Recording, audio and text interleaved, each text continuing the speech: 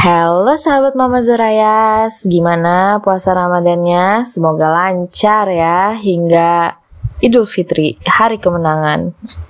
Amin. Oh iya, um, puasa Ramadan merupakan bulan pengampunan dosa. Menurut sabda Rasulullah, barang siapa yang berpuasa Ramadan karena keimanan dan hanya mengharap pahala, dosa-dosanya yang telah lampau akan diampunin. Oh iya, bagaimana sih sejarahnya puasa Ramadan? Oke, Mama Zoraya sudah merangkum beberapa poin. Yang pertama, puasa Ramadan diperintahkan kepada Nabi Muhammad dan umatnya pada bulan Syakban tahun kedua Hijriah atau sekitar 624 Masehi. Perintah untuk melaksanakan puasa bagi umat Islam terdapat di dalam surat Al-Baqarah ayat 183 ketika wahyu turun Nabi Muhammad dan para sahabat sedang membangun sebuah pemerintahan baru di Madinah.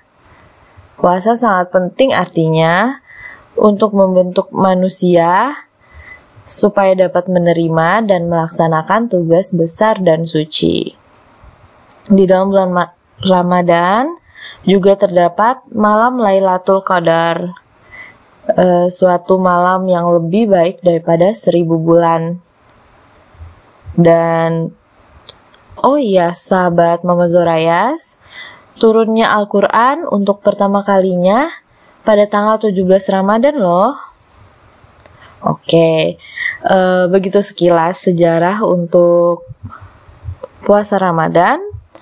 Uh, sekarang kita akan mencoba membedah manfaat puasa. Oke, okay. untuk manfaat yang pertama adalah menurunkan tekanan darah. Uh, penurunan penurunan tekanan darah saat berpuasa dipengaruhi oleh terjadinya perubahan metabolisme di dalam tubuh, yakni ketika keton kemudian berubah menjadi energi. Dalam kondisi normal, energi akan dihasilkan dari glukosa di dalam tubuh. Namun, pada saat berpuasa, energi tersebut akan diperoleh dari keton yang terdapat di dalam lemak melalui proses ketogenesis. Selama berpuasa, insulin di dalam tubuh kita akan mengalami penurunan. Hal inilah yang mengakibatkan tekanan darah dalam tubuh juga ikut menurun. Tahu nggak sih kalau tekanan darah yang tinggi di dalam tubuh bisa berujung penyakit loh. Bisa berupa stroke atau jantung. Jadi puasa sangat baik. Untuk poin kedua, yaitu penelitian pada tahun 2014 bahwa puasa bisa meningkatkan sistem keke kekebalan tubuh dan meningkatkan penurunan berat badan. Selama puasa puasa lemak digunakan sebagai sumber energi loh. Dan penelitian lainnya menyatakan bahwa puasa bermanfaat untuk menjaga kadar gula darah dan kolesterol. Wah, wah, wah, amazing banget ya. Oke, untuk poin ketiga, poin terakhir, sebenarnya masih banyak manfaatnya, tapi Mama Zoraya serangkum menjadi tiga poin saja.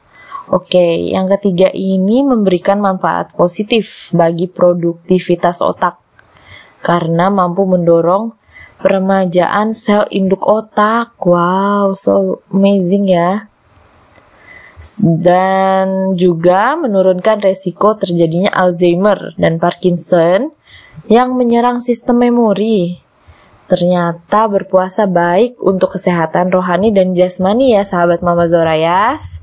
Semangat ya puasanya, semoga uh, di hari kemenangan kita semua menang dan bahagia. Bye.